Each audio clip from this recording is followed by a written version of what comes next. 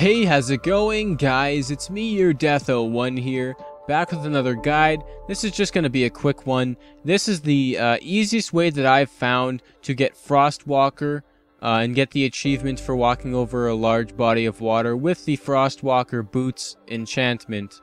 Um, now, the only way to get this uh, enchantment, Frostwalker, is it is loot exclusive, so you can only get it from either trading from a villager, which is a very rare, uh, looting from fishing, which is extremely rare, or if you get lucky in a uh, in a library in one of the dungeons, which is also very rare. Uh, I think the the chance to get it is maybe like one percent or something like that. So, like, I spent a lot of time trying to fish for it. It did not work, and same with trading because uh, there needs to be a librarian if you're doing it through trading in a village, and it takes a lot of resources anyways. Um, so realistically, the easiest way to do it that I found was to just sit there and keep randomly generating worlds, find the dungeon, go to the um, go to the library in the dungeon, and then see if there's the enchantment. And this is the only world that I found after like 40, 50 attempts. Um, and so this is the one I'm going to show you guys because it really isn't too far from spawn as you can see. Uh, so just looking at the map here now, uh, you, this is where you spawn, right down there. Uh, you spawn right there, and basically in the middle of the map always. And then all you're going to want to do is you're going to want to go northwest, like always. and uh, you want to go straight up until you get to this place. And now the coordinates for this place that you want to be at is negative 599. Your x is negative 599. Uh, your y should be 72. And then your z should be negative 769.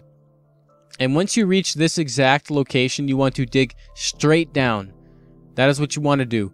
Um, so just looking at the map here, as you can see, we spawned right there. You're going to want to go all the way top left, keep going diagonally up until you get to right around this pond over here and stuff. You'll see there's that pond there.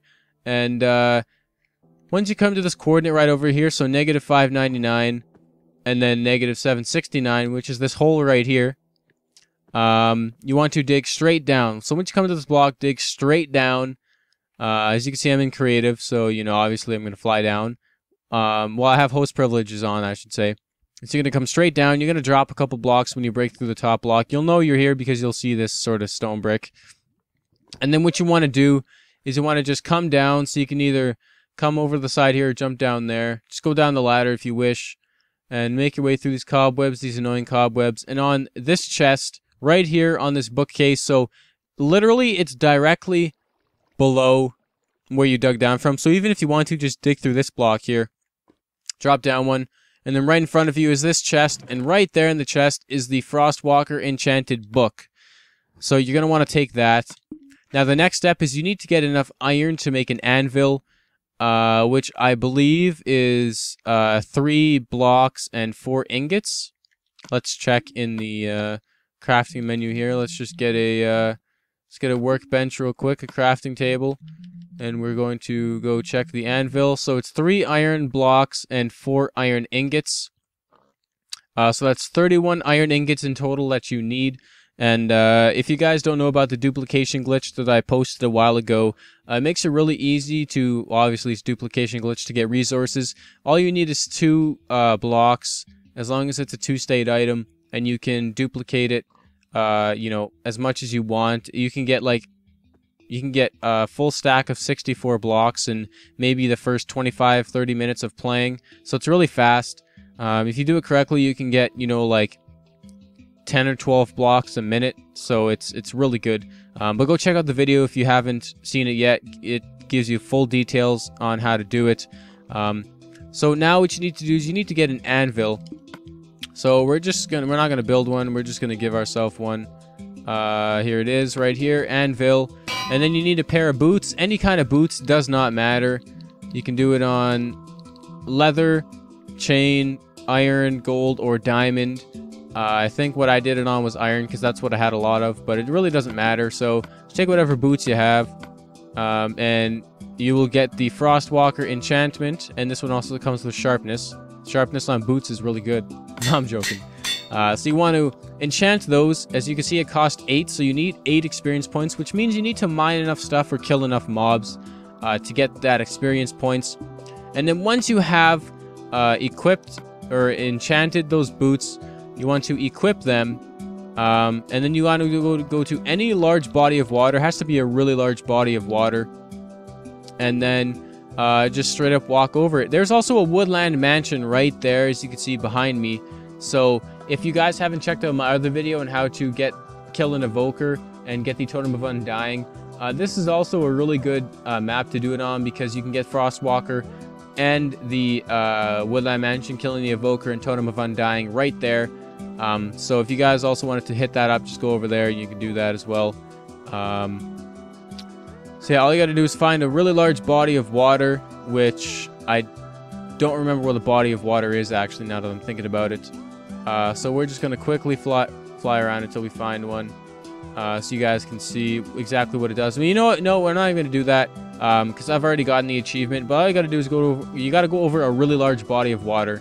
Like, straight up. I mean, it, it has to be huge.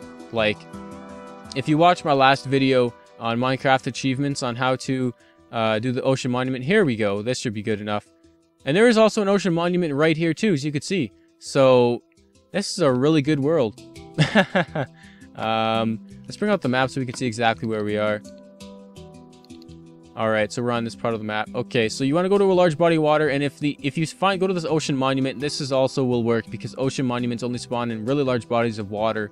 And uh, as you can see, because you have the boots on, anytime you walk near water, um, it starts to create ice under your feet, so you will not sink. You will just straight up run. Uh, if you do go fast enough, though, you will skip over it. So don't go too fast, as you can see like that, and then, you know, you won't uh, you won't keep going. You gotta walk. Um, you can't run or jump. So just keep walking. And uh, after you've walked out far enough, it has to be a certain depth, you will uh, get the achievement. Um, so yeah, thanks for watching, guys. Uh, oh yeah, if you don't know how to how to get the achievement for an evoker, um, basically you just have to, or I mean for the um, for the um, defeat an elder guardian, just come over to an ocean monument like this. Let me take these boots off because they're gonna mess me up. Uh, and the easiest way to do it is to just go to the top of the monument, mine down one block, and there will be a um, Elder Guardian right here. Um, I'm on creative mode, so obviously he's not spawned. Um, but this is where the Elder Guardian will spawn. Um, but yeah, thanks for watching, guys. Make sure to like, favorite, share, and subscribe if you did enjoy. Uh, please check out my friends' channels. Their links will always be in the description below. Again, I will leave the seed and the coordinates in the description as well as I, you know, put it up in the beginning of the video. Um, but yeah, thanks for watching, guys. Again, keep it real, and I'll see you in my next video.